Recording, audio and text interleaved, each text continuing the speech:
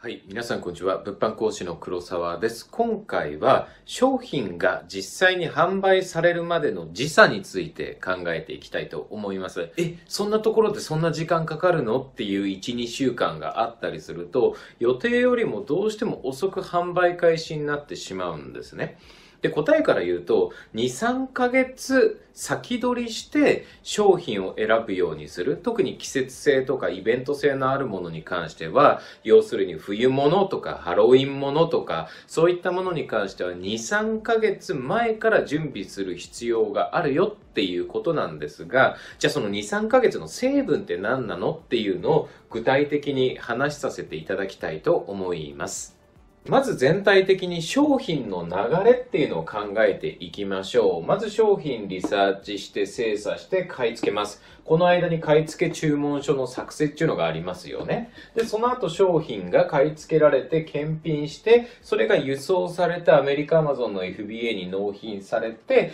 で、その後テストマーケティング開始。で、さらにその後は、例えば広告かけるだとか価格の微調整をするだとか、ページを育てる、マーケティングを行ううような作業になる。これが一連の流れなんですが、これ一つ一つまずはどんぐらい時間かかるか見てみましょう。商品リサーチ、まあ、どのぐらい時間かかるとは一概に言えないんですけど、だいたい2週間から1ヶ月ぐらいかけた方がいいっちゃいいですよね。初めは慣れてないので、母数を集めるってだけでも結構時間かかっちゃいますし、そっから精査していくっていうのも、さらに1から2週間ぐらいかかるんじゃないかなと思います。います要するに、ここまでだけで1ヶ月かかるわけですね。1ヶ月かかるかなっていう、あくまでも目安ですよ。さて次、商品をじゃあ買い付けお願いしますって言った後、買い付けるので大体1週間、検品で1週間から2週間かかります。ってことはここで大体2から3週間かかるっていう感じですね。大体もうここまでで1ヶ月半ぐらいかかっちゃうわけですよ。で、実際輸送を行って届くまでに1週間、FBA に納品されてから、だいたい2から3日ですね。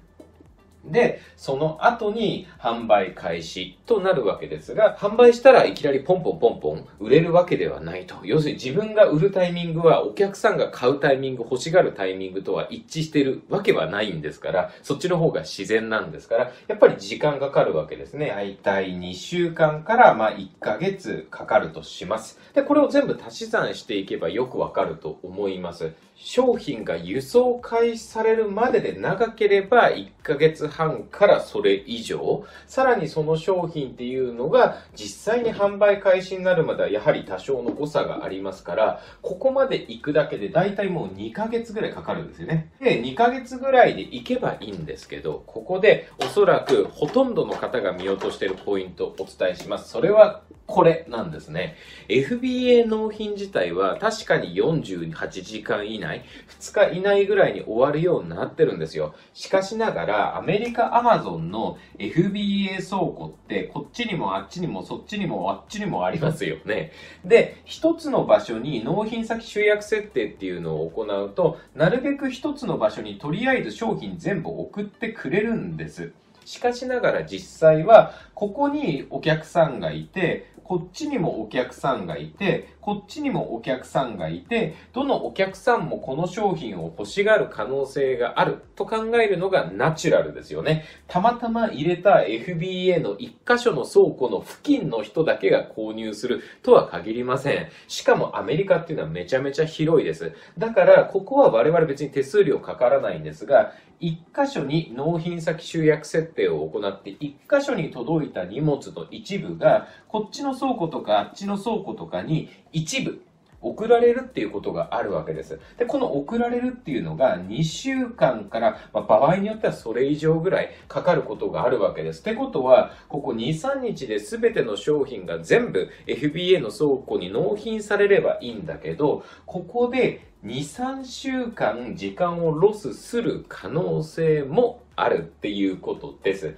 で、それを加味して考えると、2、3日が2、3週間になっちゃったら、ここ2ヶ月じゃなくて2ヶ月半ぐらいになっちゃうわけですよね。で、さらに、マーケティングもろもろをやっていると、だいたい2、3ヶ月先取りして商品を準備しておかないと、販売するだけじゃなくて、やっぱりそのページって販売したてだと弱いですから、例えばレビューが欲しければ、アーリーレビュアープログラムっていうレビューをなるべく早くもらえるようなプログラムに参加したり、まあ、登録するだけなんですが、登録したり、ちょっとスポンサープロダクトをかけてみたりだとか、あまりにも価格が高すぎるんかなと思ったらそこは微調整するだとか、そういった作業が必要になってきます。これをトータルで考えて、結果的に2、3ヶ月前から先取りして商品リサーチしとかないとあかんですよっていう話を今回させていただきました。あと、この中にもう一つ考えなければいけないことがあるんです。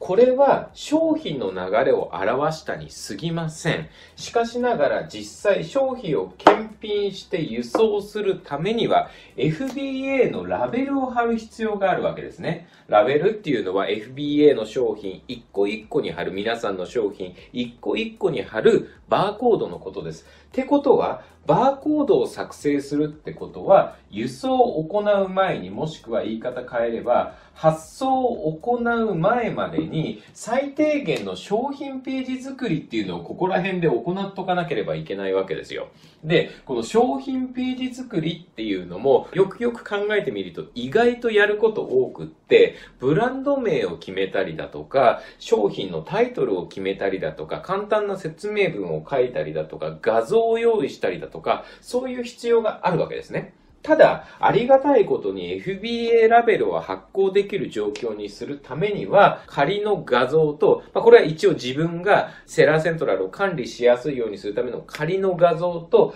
あとはその商品のタイトル、ブランド名、価格、ここまでとりあえず決めちゃえば、ラベル自体は発行できるんですよ。ってことは、検品して商品を発送する前までにラベルを発行するための最低限の Amazon への商品登録、出品登録を行っておき、その商品が FBA に納品されて販売される前までに商品ページをしっかりと充実させておく必要があるわけですね。そこまで考えて進めないと、商品自体の動きはこのような形なんですが、ご自身が商品ページ作り、ページのま充実なんて書きますけど、ページをしっかりと充実させる、こっちで手間取ってしまったら、商品がもう FBA に入っているのにまだまだ売れる状況になってないなんてこともザラにありますから、商品だけの動き、プラス Amazon 内でのご自身が行うページ作りっていうまた別のラインもあるわけなんですよ。